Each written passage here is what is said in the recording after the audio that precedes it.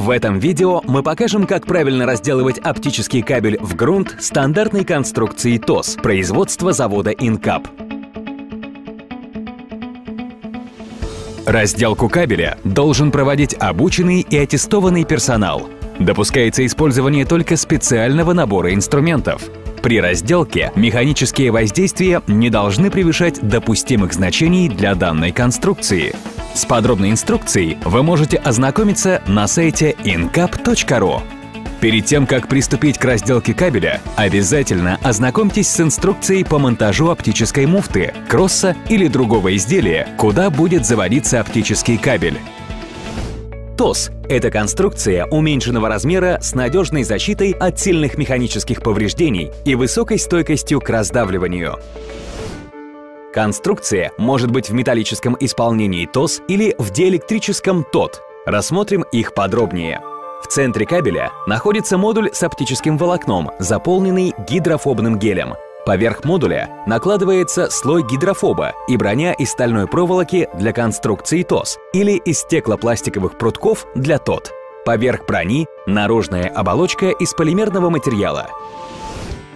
Для разделки оптического кабеля ТОС нам понадобится рулетка, чтобы отмерить необходимую длину отрезка для разделки, спиртовой маркер контрастного оттенка или изолента, чтобы отметить место вскрытия кабеля, стриппер для удаления внешней оболочки кабеля Кабификс, плоскогубцы или бокорезы для снятия оболочки, тросокусы для удаления брони, строительный нож для удаления обмоточных нитей, дегель – специальная жидкость для удаления гидрофобного геля, стриппер для снятия оболочек 0,6-2,6 мм для вскрытия оптических модулей, изопропиловый спирт для очищения оптических волокон.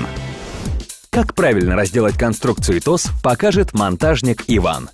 Итак, начнем разделку. Закрепляем кабель с помощью струбцины. Для обеспечения необходимого запаса волокна и последующего монтажа муфты разделываемый отрезок должен составлять 2,5 метра. Отмеряем рулеткой 2,5 метра и маркером отмечаем место поперечного разреза наружной оболочки.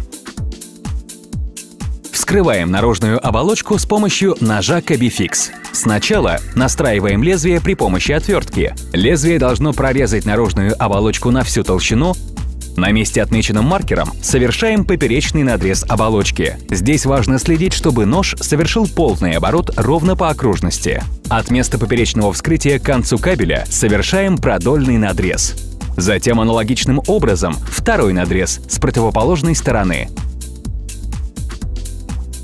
Наружную оболочку можно снимать и другим способом – с помощью монтажного ножа. Совершаем поперечный надрез оболочки, затем продольный. Под ней находится броня из стальных проволок, поэтому нет риска повреждения остальных элементов конструкции. С помощью плоскогубцев или бокорезов, начиная с конца кабеля, снимаем внешнюю оболочку. Ножом удаляем обмоточную нить с брони.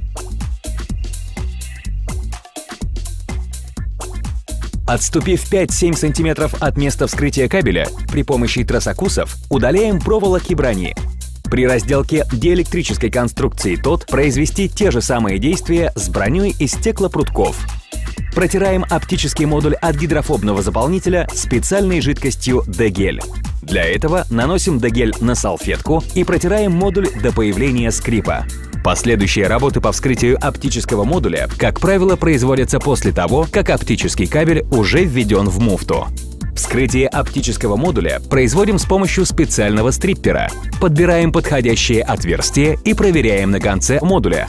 Делаем надрез оптического модуля. Аккуратно стягиваем оболочку и параллельно протираем волокна от гидрофоба салфеткой. Эту операцию удобно производить отрезками по 20-30 см. С помощью специальной жидкости D-гель удаляем остатки гидрофобного заполнителя.